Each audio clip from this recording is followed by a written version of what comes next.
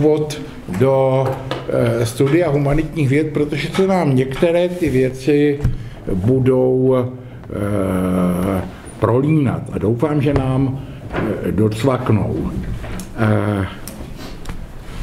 Pokračujeme teda v tom závěrečném bloku, v kterém se pohybujeme v přednáškách Patočkových eh, z úvodu do fenomenologické filozofie a tohle je 12. přednáška z toho jeho cyklu.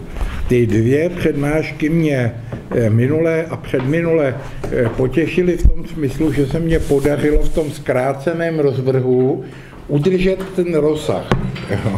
A to, jako, to se nestává. Tahle ta přednáška mně připadá náročnější, takže může se stát, že eh, to nedoděláme. Ale chtěl jsem to dodělat až do, do konce té 13. přednášky, protože eh, jako dneska bychom měli pochopit, proč se ten Husserlův eh, předpoklad nepovedl a v jakém smyslu se vlastně od té doby subjektivní fenomenologie, teda která se zabývá těmi noetickými strukturami, eh, už nebuduje, ale eh, rozjel se velice obor toho, čemu se říká asubjektní eh, fenomenologie, který také vymyslel Husserl, ale způsobem, který Husserla moc nepotěšil,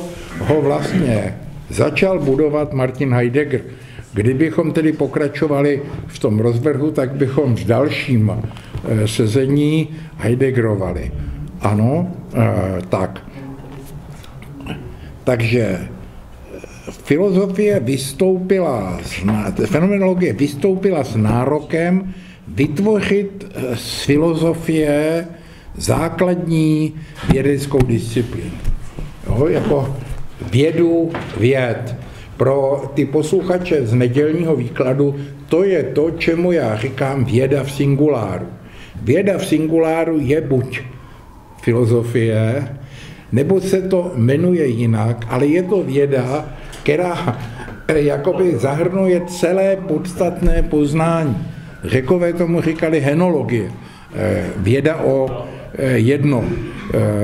Později za křesťanství se takhle vytvořila teologie. Od toho slova teos Bůh a e, je to teologie monoteistická. Jo?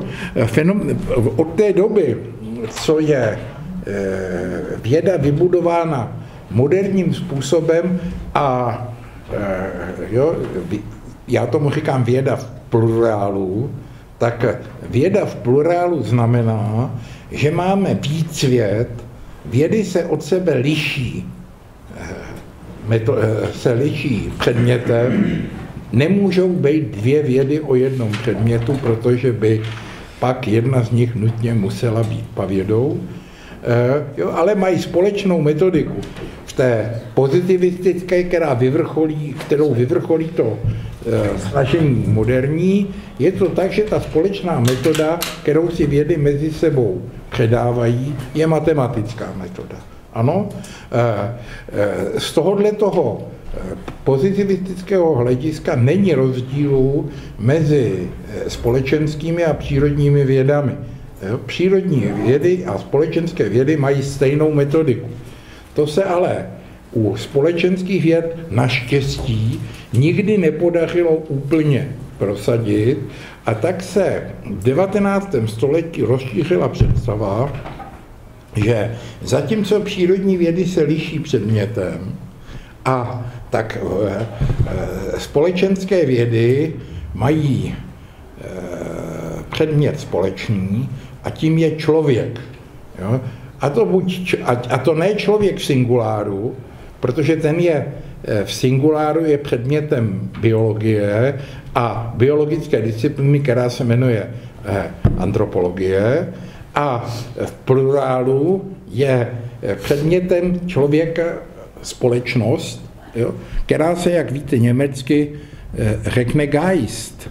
Jo. Proto vzniknou Geistwissenschaften duchovní vědy, jo, opakuju, že když nás Milan Sobotka, když jsme četli fenomenologii ducha u Hegla, tak říkal vždycky, když v německém textu této knihy narazíte na termín Geist, duch, tak to překládejte společnost.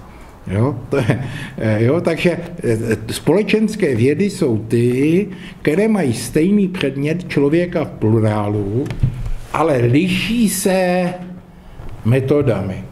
Mají metody kvantitativní, odvozené eh, z matematiky a mají také metody, které, kterým se říká kvalitativní.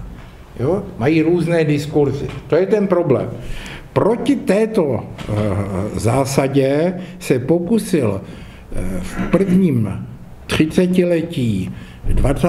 století Husserl vybudovat fenomenologii v tom původním smyslu jako filozofii, která by byla základní disciplínou a hrála by roli toho, čemu se v našich výkladech aristotelsky říká filozofia prima, tedy řecky proté filozofia.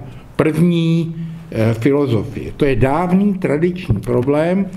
Název je, tedy do latiny to převedli eh, eh, scholastikové, když se seznámili s Aristotelovou filozofií a v Aristotelově smyslu je pro té filozofia vědou o tom, co děláme, když užíváme sloveso býti v indoevropských jazycích. Tedy je to nauka o soucnu jako soucím a nauka o nejvyšším soucnu zároveň proč ty disciplíny nazval Aristoteles pro té filozofia. No především si musíme uvědomit, že Aristoteles eh, filozofuje v situaci, kdy žádné vědy nebyly. Jo. Aristoteles je první filozof, který si uvědomí, že ta eh, věda v singuláru, jakožto filozofie, je tak rozsáhlá, že jeden badatel eh, neobsahne. U Platona tenhle problém ještě nevidíme. Neboť Platon tu systematiku nevytváří eh, tak jako Aristoteles, ale ukazuje ji v různých výsecích formou těch dialogů. Bere si vždycky jeden problém a ten metodicky propracuje. Jo? Neříká, jak to je. Aristoteles chce říct, jak to je a tudíž mu, ačkoliv byl velmi pilný a jako vypracoval tu systematiku, tak už za jeho života se ukázalo, že celý ten systém rozpracovávat nebude žádný z jeho žáků, že se každý bude věnovat jeho části. Vede je tedy e, myšlenka teoretického poznání jako jediného, ale teď se ukazuje, že to je jediné spolehlivé poznání v, čistého, v čistém nazírání, které ovšem je tak členité, že je ho potřeba rozdělit. Aristoteles tedy říká, že každá disciplína, která postupuje docela přesnou, tím pádem v aristotelském smyslu deduktivní metodou, deduktivní metoda znamená, že máme několik základních pojmů nebo věd, které jsou jednoduché, zřejmé svou jednoduchostí. A proto e, mohou, e, musí být konečný počet. V euklidové geometrii e, víme, že jich je pět. Pět a e, oni byli v té době, kdy Aristoteles myslí a dorůstá, tak ta první disciplína tímto způsobem, Euklidem vybudovaná geometrie, eh, je právě dobudovaná. Euklides byl ještě minimálně nepřímý žák Platonův, ale eh, do akademie chodil eh, muž, který se jmenoval Euklides. Nejsme si jenom jistí, jestli to byl ten Euklides, který založil, založil geometrii. Ale tedy ze základních počet, počtu jednoduchých věd jsou učleněny tak, že Jedna jedná o počtu, druhá o kontinuální kvantitě, třetí o vztazích tónu a čtvrtá o astronomických poměrech. O čem jsem to teďka mluvil? To, jsou, to je kvadrivium. Jo? To jsou ty disciplíny, které jsou předurčené k tomu, aby byly kvantitativně zpracovány. Trivium, ty, to se týká jazyka. Jo? Gramatika, e, e, dialektika a retorika. Jo? To, jsou, to, to předchází, ale tyto disciplíny mohou být vybudovány. Jsou to svobodná umění. Čím jsou svobodná? No, svobodná jsou tím, že k ničemu neslouží. Kromě toho, že jakoby šlechtí ducha, šlechtí toho člověka. Kdo se tohle naučí, je vzdělanec. Jo? A ten se v životě nestratí. Proto, když často cituju amerického profesora a dobrého přítele Andrew Lase, on je sice američan, ale mluví perfektně česky a e, dělal tady českou maturitu a žil tu s rodiči, než ho komunisti vyhnali a e, doštudoval v Americe, je antropolog a celý život učí na jedné z těch sedmi sester, a to je, přípravná e, količ pro elitní eh, dívky, on, těch sedm sester jsou dívčí koleje pro dívky z nejlepších rodin za šílený peníze a ty rodiče se ho vždycky ptají, k čemu to tý naší Mary bude, že tady bude tři roky eh, studovat tyhle ty svobodné umění. A on jim říká, no já vám nebudu lhát, nebude jí to k ničemu. Jo? Ale je to, je to výborný pro Sitzfleisch, jim říká anglicky, a e, je to výborný pro flash a promyšlení. A ku podivu ty rodiče, ačkoliv je takhle smete ze stolu, že jako kvalifikaci to neposkytuje žádnou, nebude s ní ani paní doktorka, ani paní inženýrka, ale e, holka se vám nestratí. E, tyhle ty všechny čtyři disciplíny geometrie, aritmetika, astronomie a hudba patří v antice do matematiky. Jo? Jako, to nám připadá velmi, e, velmi jako nepochopitelné, ale musíme si uvědomit, že antická matematika byla něco úplně jiného než naše matematika. E, takto ještě na té bázi kvadrivia je možné, že si každá disciplína uřízne kus svého materiálu, ale zůstanou spojeny jednou záležitostí. Poznání v obou, ve všech čtyřech těchto případech je přesné a je založeno na stejném modelu e, matematiky. Ten základní pojem, s kterým všechny musí pracovat, který všechny předpokládají a žádná jej nečiní svým předmětem, je obsažen v tom, co Aristoteles konstatuje. Co to znamená být? He epistémé. E, jo? He epistémé. Vědění v silném smyslu slova do základů pronikající na zření.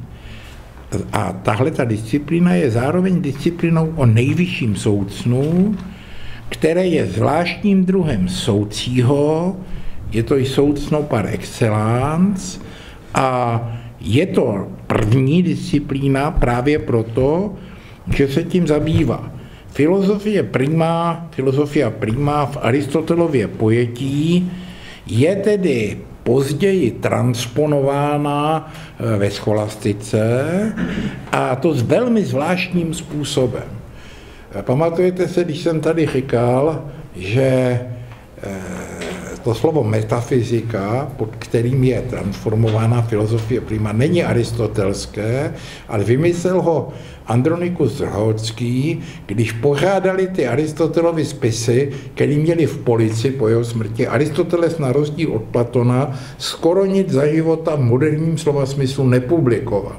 Všechny jeho knihy jsou sestaveny z náčrtů přednášek a z toho, co našli v té knihovně. A oni je vytřídili podle předmětu. Takže v spisy o přírodě nebo o fízis těm dali jméno fyzika, spisy o e, politice, těm dali jméno politika, spisy o logice se jmenují analytiky, jo, a tak dále. Když to všechno už měli, tak jim tam zůstala kupa rukopisů, který neuměli nazvat a zároveň se jim zdály nejdůležitější. A Andronikus Rhodský pak přišel na nápad říct tomu ta metafyzika, protože to byly spisy, které ležely na té polici vedle těch spisů o fyzis a ta meta znamená buď vedle, anebo nad, je to předložka. Jo? Buď leželi vedle těch spisů o fyzice, anebo leželi nad těma e, spisama o fyzice. Když leželi nad tím, tak to je ten pozitivní výměr metafyziky. Metafyzika je věda, která je vejš než fyzika. A jestli leželi vedle, tak tím chtěl Andronikus Horský říct, že metafyzika je úplně vedle. To slovo prochází 2000 let dějinami pod tímhletím přídechem. Jednak velmi pozitivním a jednak velmi eh, negativním. Stojí dál a výše než ta filozofie, která se zabývá soucnem, do něho jsme vrostli, které je zde, kdykoliv otevřeme oči, a toto soucno tomu řekové říkají fyzis. jako to slovo je neobyčejně nešťastné, protože my ho máme spjaté se slovem fyzika, Jo, protože eh, fyzika začíná výkladem pohybu. Jednoduchý rovnoměrný pohyb je to, co udělá základní zákonem fyziky Galileo. Ale fyzik je spíš jako teorie života, než že by šlo o pohyb eh, těles. Ano, filozofie primá teda mluví o soucnu vůbec, o soucnu v celku a je e, založena na základním náhledu Aristotelově, že všechno pohyblivé je pohyblivé jenom tím, že nakonec závisí na tom, co pohyblivé být nemůže. Archimedes o něco později říkal, dejte mi pevný bod a pohnu země koulí.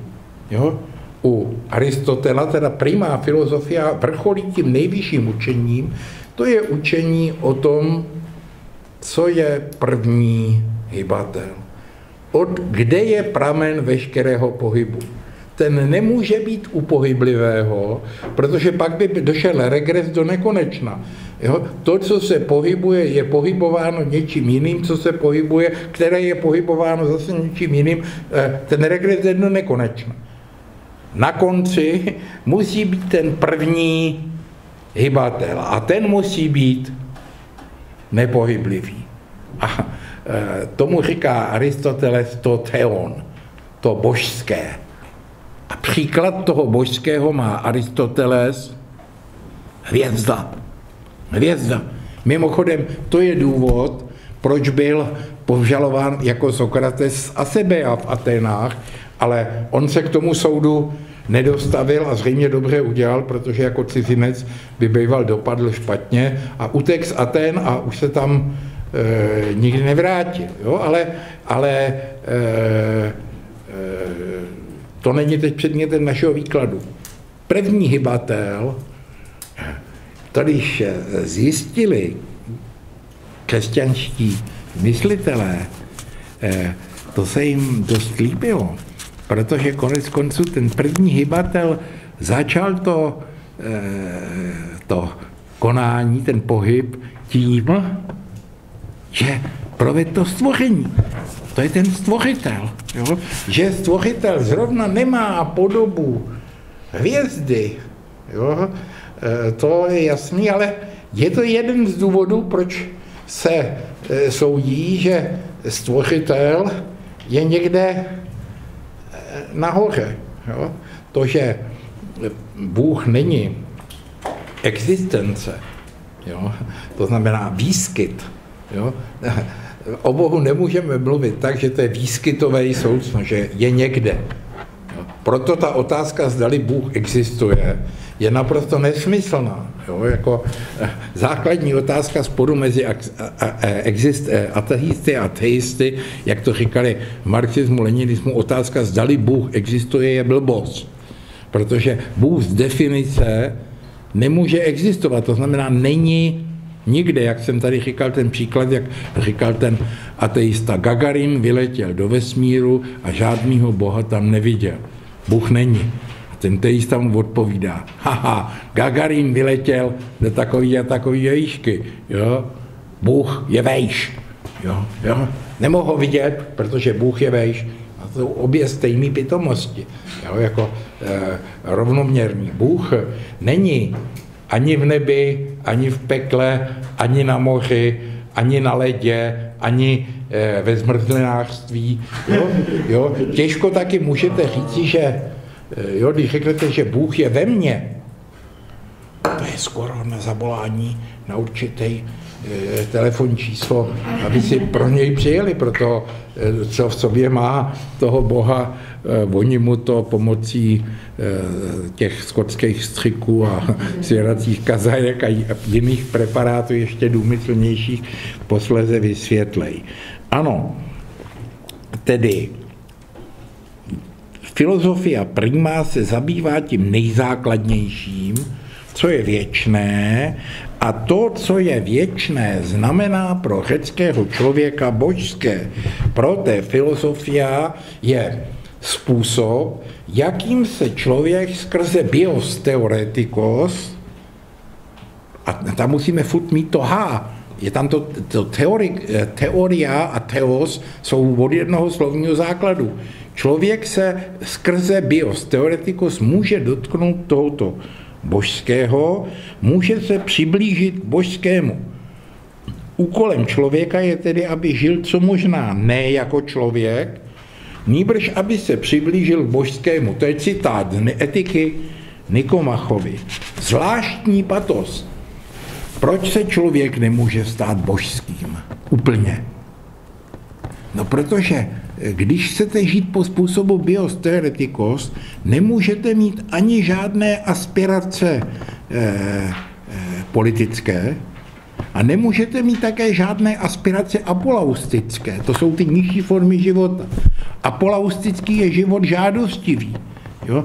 Jako znáte to ze své přípravy, když se chcete věnovat něčemu teoretickému a vidíte, že to je hodně, tak si člověk říká, nejdřív musím uspokojit své základní potřeby. Uvařím si kafe a dám si cigáro. Jo? Když si dávám to cigáro, to ne, jo, nemůžu se teď věnovat ničemu, musím se soustředit na ty, abych si těch kafí nedal pět a těch cigaret 20. Jo? Potom ovšem na mě přijde jiná apolaustická potřeba, že si musím skočit na záchod, jo, a takhle, než vy, všechny ty potřeby, které mám, tak se pak ukáže, že už to nestojí za to a vyplatí se jít do hospody. Jo? Ale jo, ten teoretický život musí začít tak, že do toho vlítnu, nějakou dobu si ty potřeby odepřu. Kdybych to udělal příliš dlouho a příliš důkladně, tak bych se v první instanci udusil. Jo? Takže úplně, jo? pak bych umřel žízní, pak bych umřel hladem, jo? ale eh, jako chvilku to vydržím. Ta poměrně dlouhou chvilku to vydržím bez jídla, kratší chvilku to vydržím bez pití, no s tím decháním toho jako, jo, to je limitující. Jo? To málo kdo vydrží než pár minut a ono, když máte se starat o to, abyste nedechali, na nic nepřijdete. Jo? Ale ono to i stačí, když decháte celkem eh, normálně, eh, jo, tak jo, a vydržíte ty dvě, tři hodinky sedět eh, s prominutím na tom flajši, co máte ve spod a vě, něčemu se věnujete, tak to není tak úplně špatný. Ten výsledek se po nějaký době e, dostaví. Na koho ovšem přijdou ty, ty jako ty bekyně ve středověku, jak s ním měl král Václav tu potíž. Oni tak milovali ty kázání těch ožnivých kazatelů, jako byl Jan Hus, že ráno prostě na šestou byl nabitý kostel, odbili si to, přijímali, zbavili se všech hříchů a šli domů připravovat manželovi v oběd. Jo? Jenomže cestou na ně přišly říšní myšlenky. Takže místo, aby došli domů, šli na osmou, jo? a tam se zase z těch říšných myšlenek vyspovídali a přijali znova, jo? a zase očištěni se vypravili k domovu, ale cestou přišly zase říční myšlenky a když pak přišel muž domů, tak plotná studená polednice, eh, hnáte křivé pod plachetkou osoba, jo, eh, musel Karel, Václav IV. zakázal v Praze, aby eh, přijímání bylo častěji než jednou denně. Jo. Později to omezil na jednou týdně. Jak to je dneska? Jednou za rok. Jednou za rok je povinné minimum. Povinné, povinné minimum, ano. Povin, ale, tak jednou denně. Ano, ano, ale eh, max, max. Max jedno. No, to je tak, že eh, Václav to potom eh, dostal se do konfliktu s arcibiskupem, eh, protože ten protestoval proti tomu max jednou týdně, neboť faráři by na desátcích jako byli, byli kráceně. Ale to nechme stranou. Tradice filozofia primea v moderní době ustoupila. Nauka o prvním a věčném soucím a struktuře bytí je, neboli metafyzika, je dobudována eh, v 17. století, ale zároveň už je některými svými předpoklady eh, jakoby rozvrácena. Novověká filozofie se obvykle začíná výkladem, který tematizuje Descarta a Descartovo pokračování je Spinoza a Spinozovo pokračování je Leibniz. Dalo by se říct, že Leibniz je nejdál v tom výkladu. Eh, někdy se ukazuje, že tato kontinentální tradice má paralelní linku v takzvané inzulární neboli ostrovní britské tradici, která začíná Lokem, pokračuje Hobbesem a končí Humem. Eh, Kant je myslitel, který spojil tu tradici Leibnizovskou s tou tradicí Humovskou. Jo? A úplně správně ten obrázek by vypadal tak, že Descartes má být postaven v tom schématu na stejné místo jako Kant eh, před těma dvěma triádama. On není, to není tak, že Locke je stejně významný. Locke je odvařený, Descartes špatně pochopený, akorát ty res extenza eh, chce najít v tom, jo, nebudem se tadyhle tou věcí teďka zatěžovat, eh, dělám to velmi podrobně v tom, v tom nedělním kurzu. Ale Kant eh, zjistí, že metafyzika po tak, jak je dobudována Leibnicem, neodolá humovské skepsy. A proto se rozhodne, eh, ve starých učebnicích se psalo, 60-letý Kant přečetl Huma, procitl z dogmatického spánku, jak sám prohlásil, a napsal kritiku čistého rozumu. Jo? Byl mu dán dlouhý život, eh, dožil se 80 let, a v té poslední 20-leté periodě napsal tři kritiky. Kritiku čistého rozumu, praktického rozumu a kritiku soudnosti, jakožto předpoklady k tomu, aby bylo možné vybudovat novou metafyziku. Ale eh, jo, jako je otázka, jestli umřel proto, že tu novou metafyziku vybudovat nešlo, anebo jestli nestačil tu novou eh, metafyziku napsat, protože mu smrt eh, vyrazila pero z ruky. Jo? To záleží na tom, jaký čtete knihy. Jo? Jako, zdá se, že metafyzika po Kantovi už jako vlastně nikdy úplně nemohla být a ona se zvláštním způsobem změnila úplně jinou e, disciplínu. Moderních velkých e, filozofů došlo k zatlačení motivů soucna jako soucího ve prospěch vyšetřování toho, jakým způsobem poznáváme. Jakým poznáváme ty, ty principy soucího. Já vždycky říkám věc, kterou nemám ověřenou, protože neumím arabsky. Jo? Že tato záležitost se stala v důsledku toho, že arabština, která je semický jazyk a e, jo, v arabských překladech se zachovaly e, texty Aristotelovi a dokonce scholastika se seznámila s Aristotelem nejdřív tak, že ho překládali z té arabštiny a teprve potom z té řečtiny. To je málo známá skutečnost, že scholastikové nebyli specializovaní na jazyky a až na nepatrné výjimky uměli všichni akorát latinsky. Za to dobře tu středověkou latinu. Ale e, v, lat, v, tu, to znamená, že v arabštině není takové sloveso jako einaj v řečtině.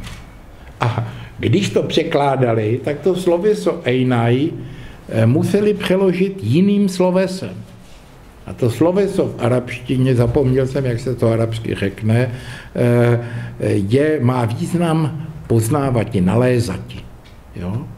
Tak se vytvořila nová filozofická disciplína, která ve starověku vlastně neexistovala. A to je, to se říká gnozeologie, jo? Od gnoskoho, eh, což je latinské poznávati, a nebo se jí říká zpětným překladem do řečtiny noetika, teorie o teorie poznání. Noesis je poznávání. Ale to slovo noetika eh, v Řecku nebylo, to je zpětný překlad do řečtiny. Takže u velkých moderních filozofických vývojů Descartem počínaje, vidíme, že jde o principia prima cognitionis humane, o principy prvního poznávajícího lidství. V tomto smyslu je Descartova kniha Meditace o de filosofia prima je první kniha tohohle ražení. První z nich je naše sebejistota o svém vědomí.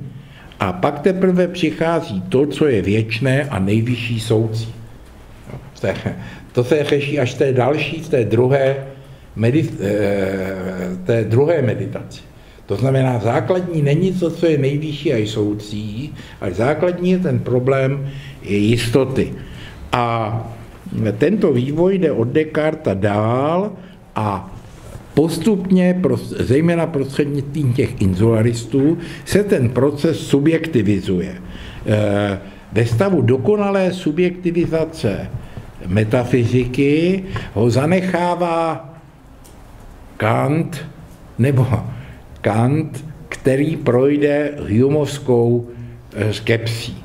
Po Kantovi se filozofia prima stává kritikou lidského rozumu, to je rozhodnutím o tom, jaká je platnost lidského rozumu. Jo? Kant omezí lidský poznání. Jo? Ten první výměr, jak to omezí, je daný tím, že my nemůžeme poznat, jak jsou věci o sobě. Ding an sich je nepoznatelná, my poznáváme jenom to, jak se nám jeví. A o tom může být vybudovaná eh, věda.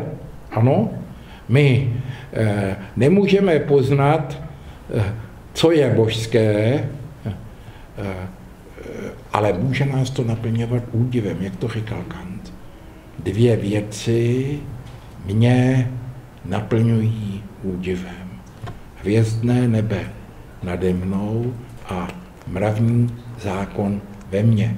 Jako mravní zákon ve mně je také něco, eh, co nemohu říct, eh, jaké jsou jeho principy. Jo? Jako, jako, je to něco, co není jenom jev, je to někde ve mně, ale já ke kořenům té věci úplně dojít nemůžu. Stejně tak, jako nemůžu odhalit, eh, co je na tom nebi, a tohle on myslí v přeneseném slova smyslu, nemohu odhalit ani to, co to vlastně tam na nás svítí a jo, ani eh, jako kdo je Bůh, to taky, jo, jako Bůh se nějakým způsobem projevuje. Jo, a, e, Kant je v tomto ohledu zakladatel fenomenologie. To slovo fenomén a fenomenologie je kantovské, kantovské slovo.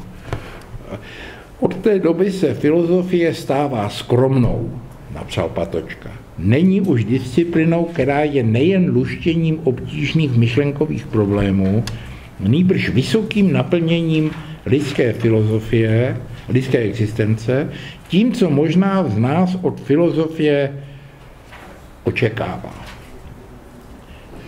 Vyroste naproti tomu, kantem počínaje, ale už před ním, to, čemu se říká druhá filozofie.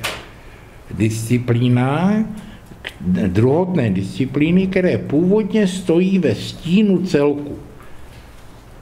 Od Kanta už je zřetelné, že obrovským způsobem se rozvíjí speciální poznání já jsem z té nedělní přednášce říkal, že, ta, že ty, eh, eh, to quadrivium jsou svobodná umění.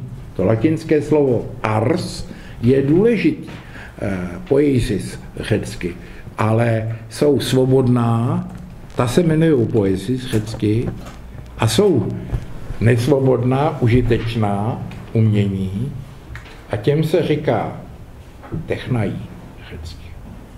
To jsou spíše než já se jim taky dá latinsky říct, nejsou to epistémé, říká se jim latinsky sciencia, vědy, trošku v uvozovkách, protože jsou to ty vědy v plurálu, ale vlastně by se jim správně mělo říkat techniky, dovednosti. Jsou to jako záležitosti, které se poznají podle metody.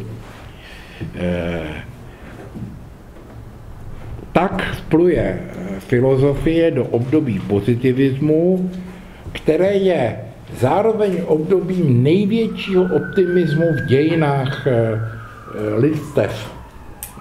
Jak jsem tady opakovaně říkal, pozitivisté byli přesvědčeni, že během velmi krátké doby, maximálně 100-150 let od vzniku pozitivismu, bude poznáno všechno, a to exaktním, definitivním způsobem a Descartův sen o tom, že člověk, který zvládne tu metodu činit poznání clare et distincte, eh, jo, eh, sciencio, eh, stane se vládcem a pánem eh, přírody.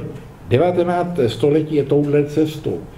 Kont si uvědomí to, že ta cesta nezačala hned, promítne ji několik století zpátky, vytvoří tu škálu věd, eh, která začíná eh, fyzikou, pokračuje chemií, pokračuje třetí vědou o životě, biologií a končí čtvrtou vědou o společnosti, sociologii.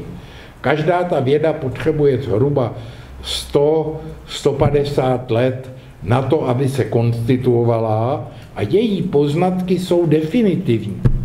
Někdy kolem roku 1950 bude poznáno z hlediska pozitivismu všechno. Obecně uznávané, pevné, specializované vědění, jo? a to, co nemůžeme poznat pozitivně, to nestojí za to, aby jsme se o to starali. Jo? Teprve, kdyby se ukázalo, jak to matematizovat, jo, tak e, jo, te, e, jako e, Zdeněk Nejedlý byl v mládí zarytý pozitivista. A přečtěte-li si, doporučuju si to někdy vzít do ruky, vemte si knihu o Smetanovi a přečtěte tak prvních, já nevím, 200 stran té knihy. To jsou dějiny sládkovství, pivovarnictví v Čechách. To s hudbou nemá vůbec nic společného.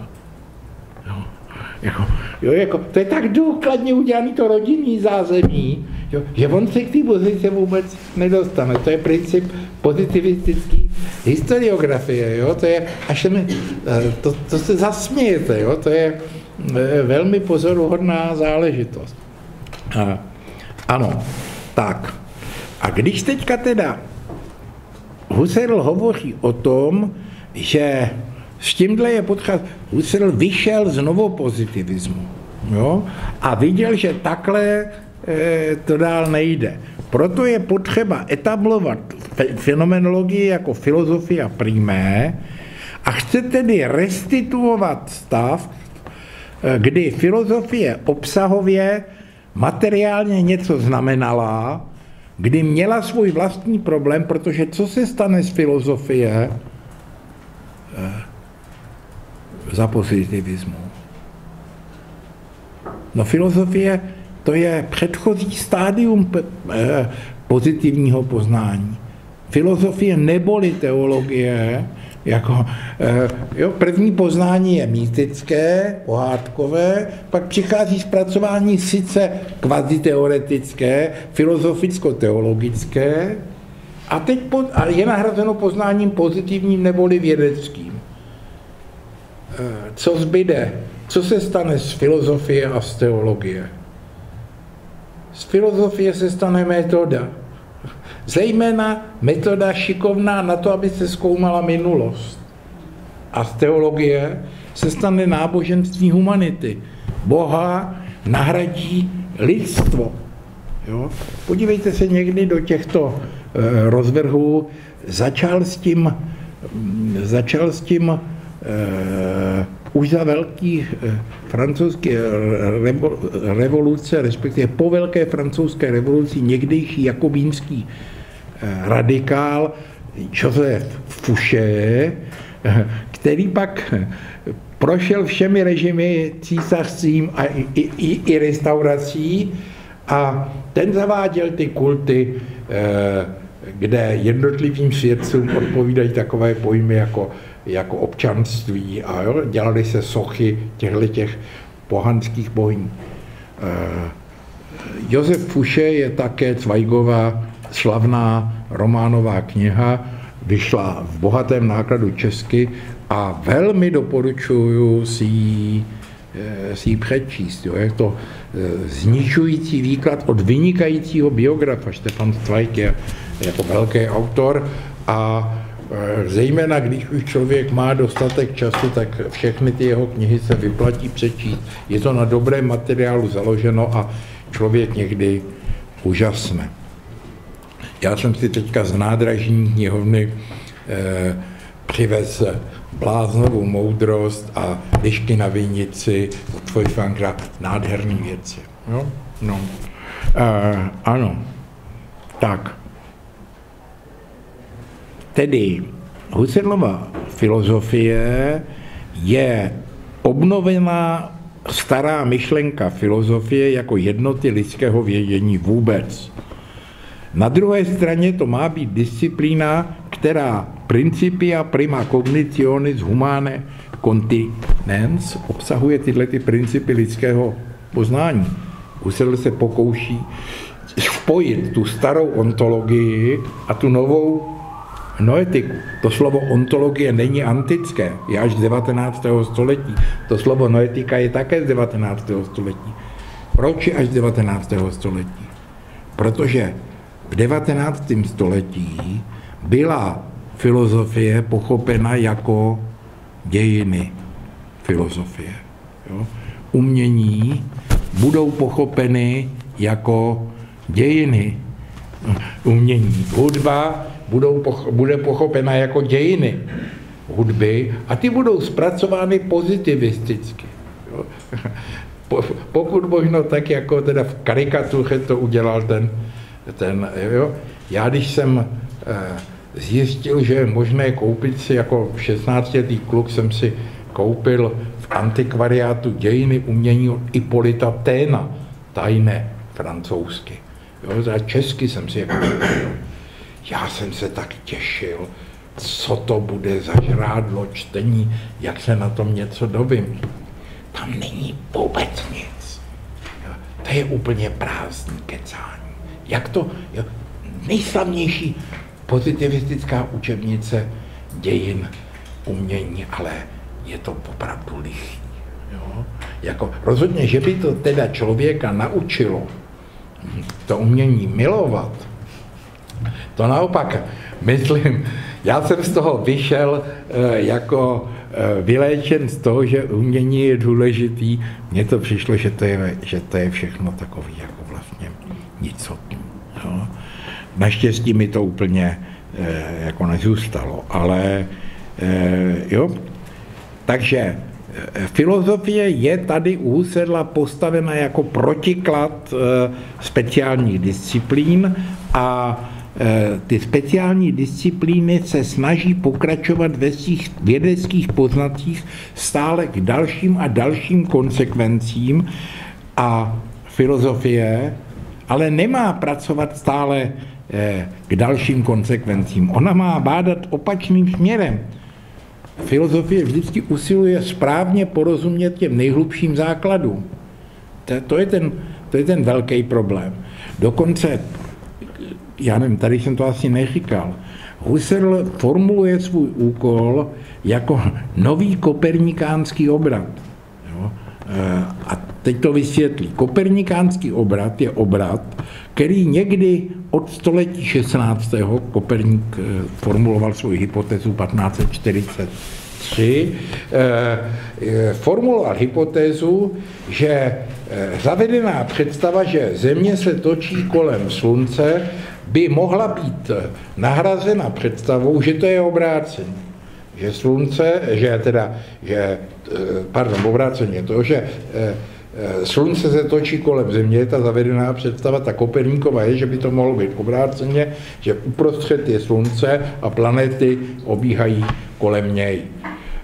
Důkazy, které proto Koperník sehnal, nejsou astronomické povahy. Koperník prakticky žádná astronomická pozorování nekonal a z přístroj, který měl k dispozici, žádnou takovou hypotézu odvodit nemohl. Mnohem důkladnější a nejgeniálnější eh, astronom období, kdy nebyly dalekohledy, Tycho de Brahe, byl přesvědčený heliocentrik a jak to známe z toho filmu Císařův pekař a pekařův císař, jako demonstroval Perichovi jako Rudolfu II. tu, eh, tu svoji metodu, kdy těch oběhových možností je celá řada, tam to skončí tím zvržením, starší to viděli, s tím zvržením té sklenice, o které se teprve potom ukáže, že v ní bylo to otrávené eh, víno, ale ta eh, scéna je udělána na reálném základě. Jo? Tycho de je 50 let po Eh, Koperníkovi, znal Koperníkovu teorii, dokonce tam říká, že kolega Koperník má takovouhle hypotézu, ale já to vidím takhle. Eh, jo, Koperníkovi názory byly estetické a platonské. To, že by slunce bylo ve prostředku, odpovídá platonské hypotéze, že svět, eh, slunce je dárce života a poznání. Ale jo, v dalším století se dostalo toto učení do rozporu s učením katolické církve a Giordano Bruno a Galilei byli naštěni z hereze, jeden byl dokonce upálen a druhý unikl upálení docela eh, s odřenýma ušima. Jo. Eh, následuje 300 let eh, jaksi souboje mezi dvěma světovými názory. Názor vědecký a názor náboženský, který jsou nesměřitelné. Na konci 19. století nebo v prvních letech století 20. Husserl říká, no podívejte se, ta Koperníková myšlenka, jo, že středem planetární soustavy je Slunce, a ne. Jo? To platí ve vědě, která je speciální, v astronomii. Z hlediska lidského života je to naprostá blbost. Všechno, jak my žijeme, nás učí, že podkladem pro veškerou naši činnost je země. Dokonce ve všech jazycích se lidé jmenují pozemšťani. Všechno, co můžou dělat, dělají po zemi. Kdyby jsme měli život založený na tom, že eh, letíme na tělese, které se obrovskou rychlostí řítí vesmírem, jo, tak bychom především se drželi něčeho pevného, stařili bychom se o to, aby všechny stoly byly přišroubované podlaze jako v kosmických lodích. Jo. Ten fenomén spaceship, neboli kosmické lodi, v důsledku toho Husserlova eh, objevu se objevil, když se začali vystřelovat eh, lidi do vesmíru. Ukáže se, že lidi si musí vytvořit jakousi zemi v malinkým, aby eh, v ní mohli opustit tuhle tu zemi. Jo? Z, tohohle toho, z téhle úvahy říká, my musíme v oblasti toho eh, Lebenswelt, ve kterém žijeme, musíme tu hypotézu popřít a patří jenom do astronomie. Ale v našem životě platí, že die Erde bewegt sich nicht, země se nehejbá. Země je základ našeho pohybu. Je důležité. V těch speciálních vědách zjistíme lecos, ale kdyby jsme to nedej pámbu všecko uplatnili na svůj život, tak to se z toho opravdu zvencneme. A já často říkám, nikdy v životě jsem nejedl to, co je zdravé, ačkoliv to bylo vždycky podloženo eh, nějakou argumentací. Ty věci, které byly nezdravé, se v průběhu mého života dramaticky měnily. Sádlo se Eh, několikrát stalo smrtelně nebezpečným a vražedným eh, nástrojem a potom se zase naopak vrátilo na listinu těch žádoucích potravin. Jo? Nejdřív se mělo žrát jenom maso, pak zase pokud možno vůbec ne. Dneska by se nemělo žrát ani maso, ani obiloviny, ale jak to říkají ty vegani. Všechno jo, ale ne cukr. Ano, hlavně ne cukr, jo, a všechno, všechno, všechno se může, jo, prostě eh, to je všechno objev těch speciálních věd. Těm vědám dáte zadání, co má jako výjít. A oni vám udělají, aby to vyšlo. Můj oblíbený příklad je, že ve 20. letech přišla věda na to, že stárnutí působí tlustý střevo. A Eh, jako, a že kdyby člověk neměl tlustý střevo, tak by nestárl. Ti, kdo na to měli, tak si tu operaci už tehdy mohli koupit. Ukázalo se, že hypotéza byla správná. Nestárli. Umřeli. No ne hlady, ale umřeli. Jako, ono to tak jako tak jednoduchý, že by člověk umřel. Hlady to není. Ono, jo, jako, ale jako neprodlouží to člověku teda život poměrně, e, sice nezestárné, ale umře jako v průběhu, řekněme, tři čtvrtě roku nebo roku. Jo? A jo, e, to je takhle vždycky, jako když tam, když Jo, proto taky všechny ty věd, speciálně vědní prognózy jsou založeny na Eh, určitým typu úvahy a vyhodí vám to správný výsledek. Je to podobně, jako jsem to říkal s tím profesorem Apfelbeckem a jo, z jaderné fyziky, eh, který vyšel v tom testu superinteligence jako oligofrenní debil, protože když mu řeknete, že to je test superinteligence, tak on nad každou otázkou přemýšlí jako nad chytákem. A tudíž vymyslí, za jakých podmínek ne. Jo, když jsem to s ním probíral, tak jsem to mohl vyplnit. První otázka, voda vaří při 100 stupních. Máte odpověď? Ano, ne. No a pak bych říkal, no za konstantního tlaku. Ne. Hm? A už tam byl. Jo. Na každou našel, protože byl opravdu super inteligentní, na každou tu otázku našel, za jakých okolností neplatí a tudíž, tudíž kdyby to nebylo experimentální, tak ho snad zbavili tí profesory a, a, a jaderná fyzika by přišla o svého nejlepšího profesora. Ale jo, to, tohle je velmi vážná věc. Speciální vědění má e, tuhle tu slabinu. Ono báječným způsobem odpovídá určitému zaměření, ale e, nemůže být e, bez souvislosti. Husserlová filozofia prima se soustředila na transcendentální motiv Kantovy filozofie.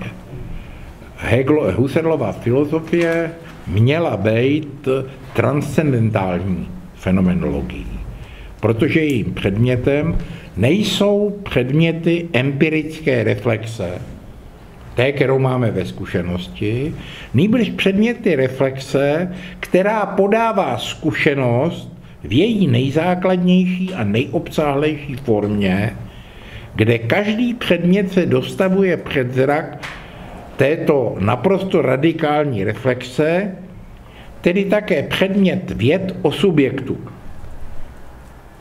To je důležité. Takže otázka, která na nás v této situaci doléhá, je následující. Co znamená toto kritické odmítnutí Husserlovy transcendentální fenomenologie? Neboť Husserl sám v průběhu svého badatel, dlouhého badatelského života přišel na to, že ten problém se vyřešit nedá. Že transcendentální fenomenologie je slepá ulička. Znamená to, že celý Husserlův podnik je slepá ulička? Těch kritik, které byly nad Husserlem vykonány, byla celá řada. Především byla kritizována celá teorie té noetické stránky. Víme, že Husserl rozdělí tu fenomenologickou tradici na noesis, která se týká toho, co se děje při subjektu, a na noema, které se týká toho, té předmětnosti. Eh, zejména byla kritizována teorie konstituce. Problém konstituce jako takové paralelně k reálným průběhům zkušenosti jakoby vyrůstaly v základních souvislostích předmětnosti, které jsou v nich dány, ale nejsou prožity, zatímco prožívání, jež můžeme okem zachytit, zachytit v prožitku, neobsahuje v sobě předměty jako svou součást. Tento problém je neřešitelný. Není ukázáno, jak ke konstituci v jádru dochází, oč se opírá. Bylo by sice možné přijmout to jako poslední fakt. Tím by se ovšem z té fenomenologie stala metafyzika. To je nepřijatelné. Tento problém je tedy neřešitelný, a, ale to nejzákladnější, nej, nej, principiálnější, oč se opírá kritika noéze, tedy reflexivního zachycení subjektivity, je motiv právě už týkající se povahy reflexe jako takové. A to, když ji interpretujeme ontologicky. Je to otázka té struktury.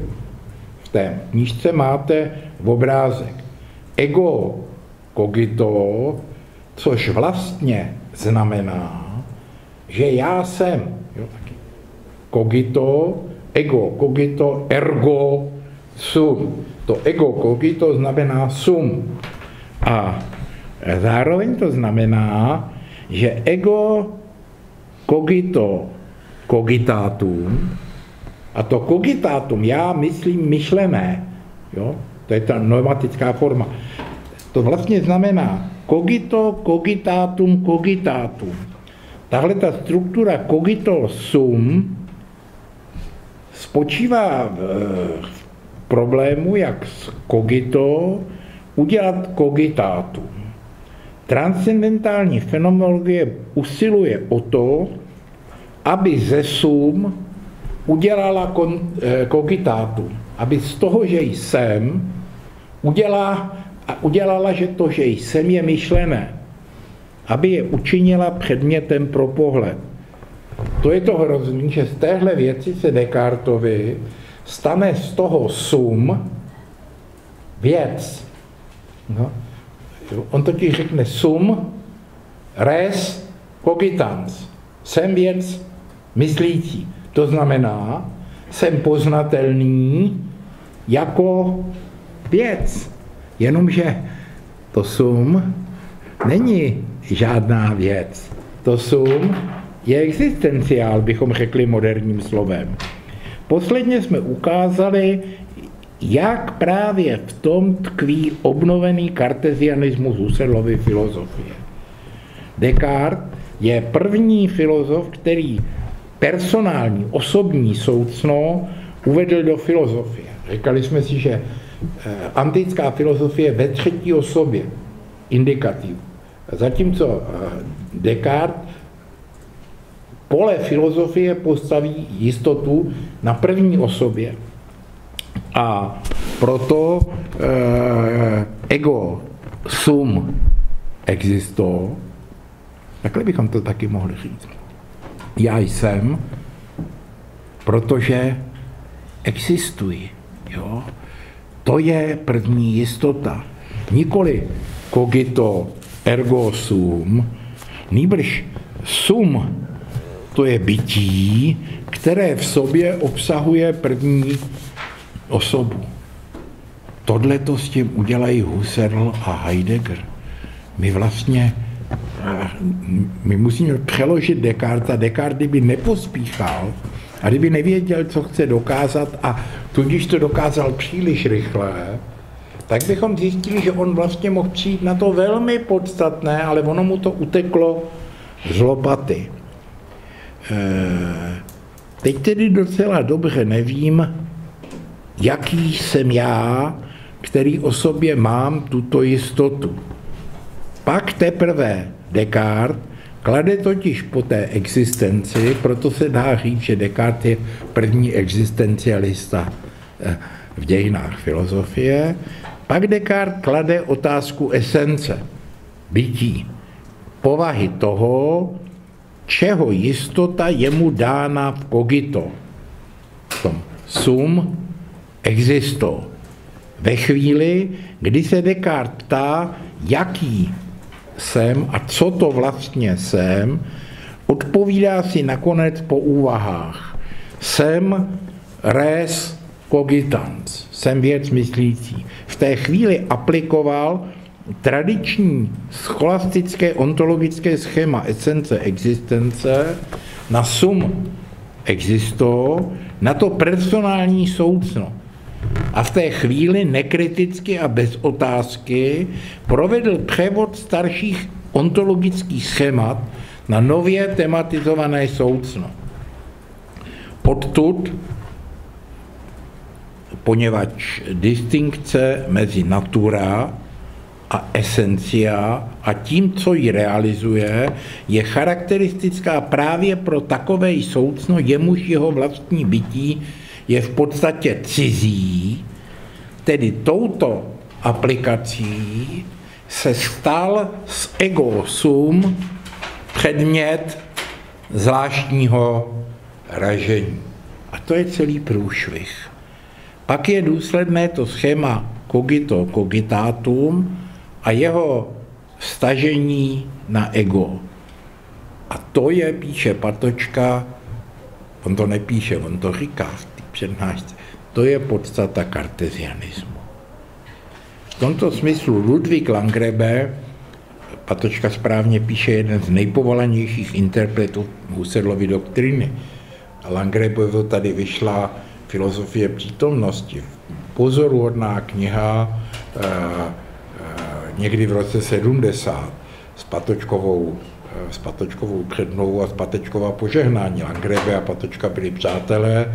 Langrebe udělal v zásadě chybu, že když utíkal před Hitlerem jako žid, tak utek do Prahy. Jo. Eh, to ne, neudělal sám tu chybu a jako věřil, že eh, Češi se budou bránit a Přivezl sebou do Prahy Husserlův archiv, který zachránil. Vydali tady dokonce jeden Erfahrung Urteil, vydali v Praze v 39. roce. Pak se Langrebovi naštěstí podařilo na poslední chvilku z Prahy proklouznout a ten archiv tady zůstal. Ten už se vzít nemohl.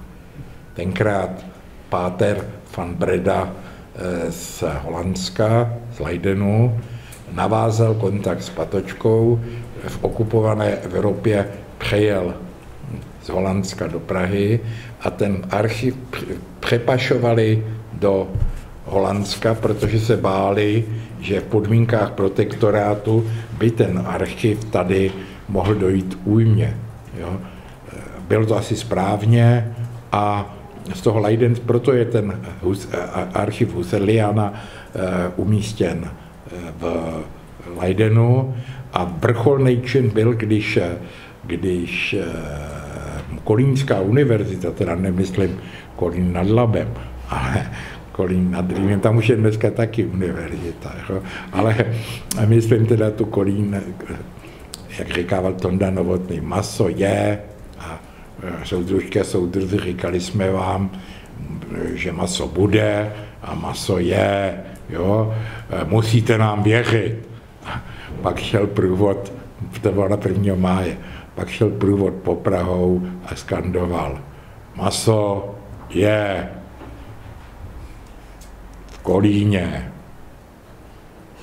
ale nad Rýnem.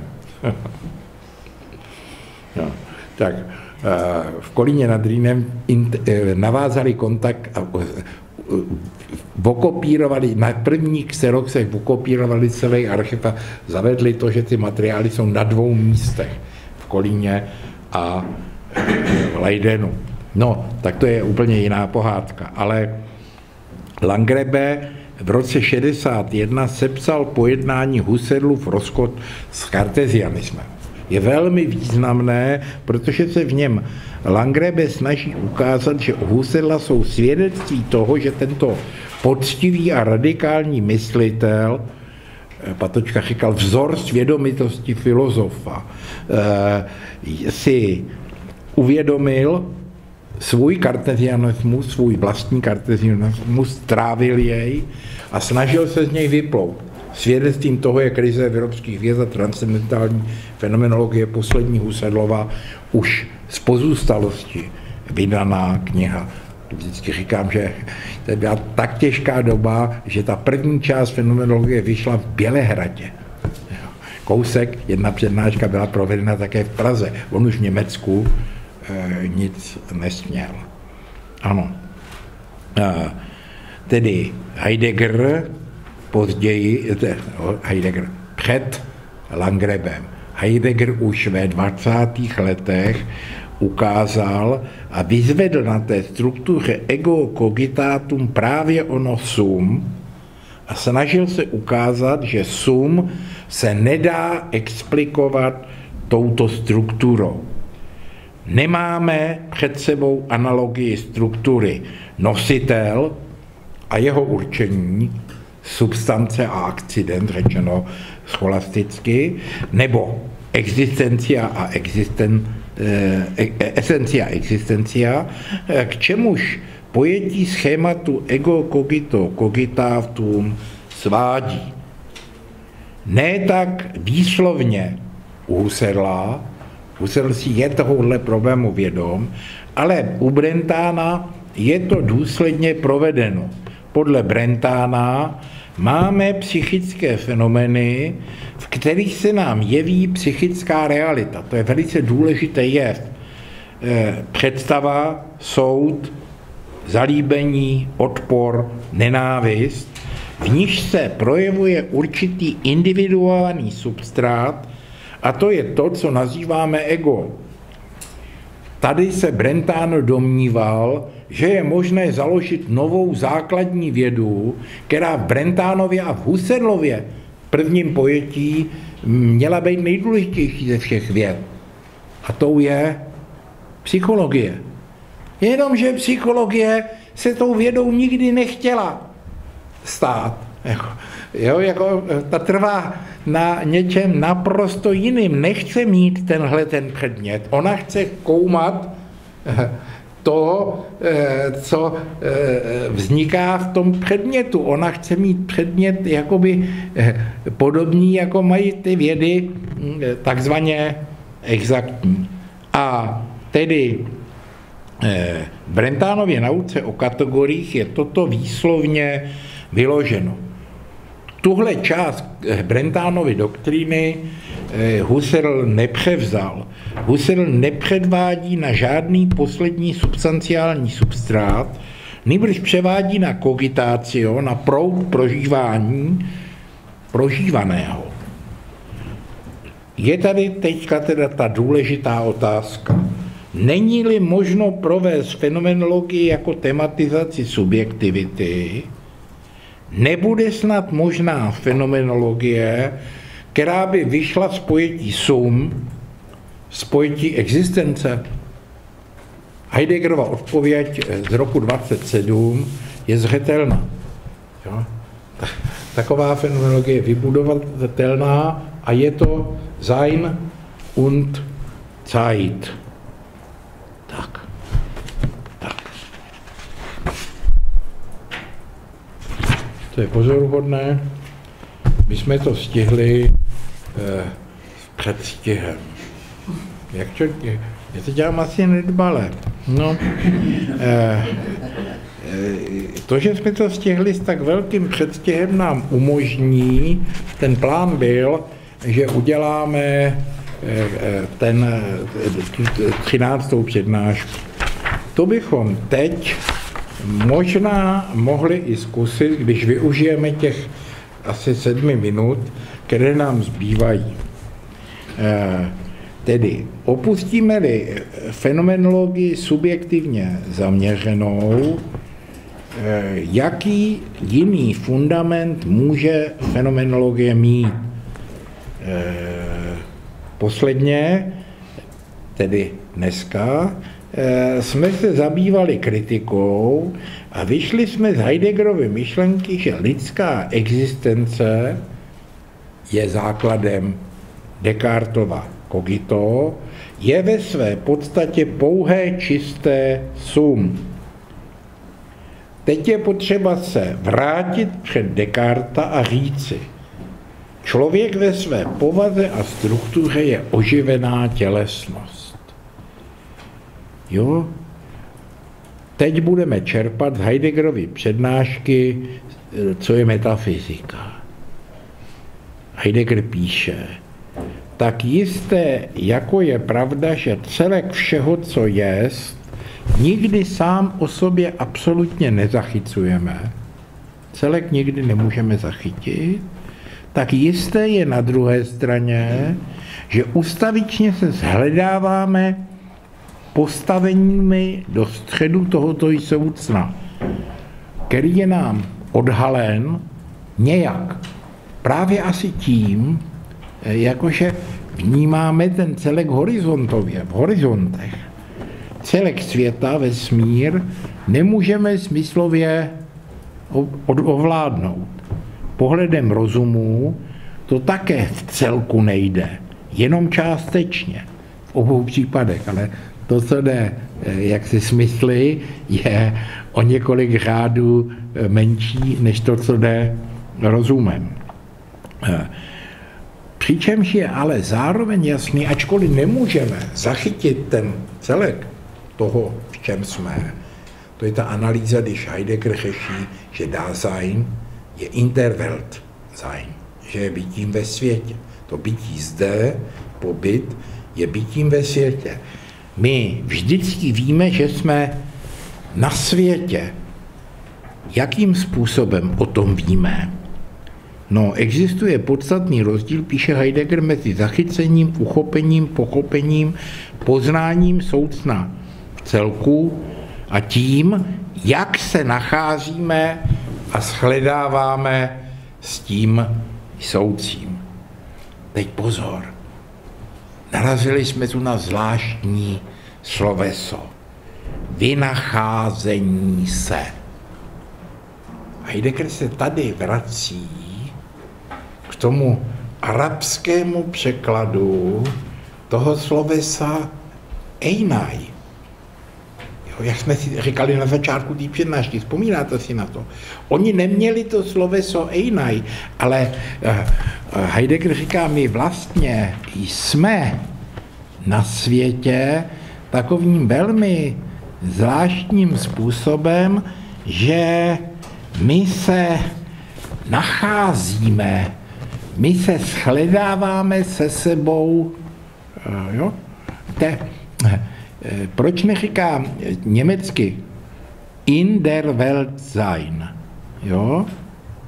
Eh, to in znamená v, anebo také na. Jo? My Češi, i patočka, jsme si tady vzali, že tomu v, tomu in, rozumíme jako na, že jsme na světě. Jo? Takže je takhle svět a my jsme někde na tom světě. Když si to promítnete do té představy, že máme svět v kabinetu jako globus, jo, eh, eh, tak nám paní učitelka pak takhle ukáže s pravítkem nebo tím laser ukazovátkem, že tadyhle je Praha a tady jsme my teďka, tady na tom, jo, teď se můžeme vidět takhle. No, to není to e, vynacházení, jo, já vždycky říkám, my jsme ještě chodívali do školy, byli jsme ve škole, zatímco dnešní studenti, pro ně je důležitý, že jsou na škole. Jo? To, jak oni jsou na škole, neznamená, že jsou ve škole. Jo? Ale jo, teda, já říkám, kdyby to bylo důsledně, tak oni by na škole byli tak, že vylezou na střechu a na té střeše se buď opalují nebo e, brání dešti a, jo, a tak to jsou e, na škole. My jsme byli uvnitř ve škole, ale oni jsou na škole, to znamená, že většinou, když jsou na škole, tak jsou někde jinde než ve škole, například v hospodě, nebo doma, nebo v práci nejčastěji. Jo? Většina studentů je, eh, když je na škole, ale zároveň je také eh, v práci. No, eh, to je právě toto vynacházení se, to, jak se člověk má, jak se se sebou v tom světě shledal. Existuje zásadní rozdíl mezi chápáním, které vůči celku je nemožné, a mezi vynacházením se, které se ustavičně takřka automaticky odehrává s naším životem, který je časovým pobytem na tomto světě. Dasein je e, bytí v čase. Zum Todessein. Ovšem, že to vypadá tak, jako bychom ve svém každodenním životním provozu v pasivní automatické existenci ulpívali vždy na jednotlivostech, citujeme z Heideggera, na tom či onom soucnu, vypadá to tak, jako bychom se ztratili do nejrůznějších jednotlivých úlomků soucna. Náš v něm nás zaklíná do této místnosti – Samozřejmě, že existují horizonty v této místnosti nádherně. Jo. Vidíme ho tam, ale nemůžeme ten horizont projít, dokonce vidíme, že se na ten horizont tady odtud rozumným způsobem nějak nemůžeme dostat přes všechny ty baráky. Jo. Jsou horizonty, vzdálené souvislosti, ale ty mají své margo, okraj a ztrácejí se do neurčita ačkoliv každodennost, zase Heidegger, je takto roztříštěná, přesto alespoň stínovitě udržuje všechno to, co je v jednotě jakéhosi celku. Dokonce i tenkrát, když nejsme zaujati nějak zvlášť sebou nebo jinými věcmi. Když jsme nezaujati jednotlivými věcmi, přepadá nás toto v celku to je, to vynacházení se vede k tomu, že si uvědomujeme, že my se máme vždycky v určité naladěnosti, v určitých náladách. A mezi těmi náladami privilegované místo má jedna nálada. Právě ta, kdy nám věci nic neříkají. Heidegger eh, předestílá učení o tom, že věci jsou cojk, jsou služby, které se nám nabízejí. Oni nás eh, jakoby rozptýlí stylují ne v tom negativním, ale především v tom pozitivním způsobu. Jako říkají nám, napij se tady e, z té lahve vody, jo, opři si o mě lokty, je to mnohem pohodlnější. E, e, soustřeď se, za tři minuty bude konec. Jo? E, dokud máme, pokud se do, všichni soustředíme na to, aby už byl konec, tak on bude rychleji. Ale když ne, když nám věci přestanou cokoliv říkat, rozhostí se privilegovaná nálada, kterou Heidegger nazývá nuda. Jo? V té nic je náhle mezi námi. E, žádná věc nám nic neřekne, všechny jsou postiženy v tom žádná. To je nejdůležitější, vůbec nejdůležitější myšlenka, kterou patrně Heidegger vůbec vyslovil. Je to základní myšlenka jeho fenomenologie a ontologie a Heidegger eh, si tímto způsobem představuje nejenom reformu fenomenologie ontologie vůbec, co to znamená být vůbec. Tak, a to si necháme na příště a myslím, že to docela to zvládneme. Takže Přeju hezký prožitek adventu a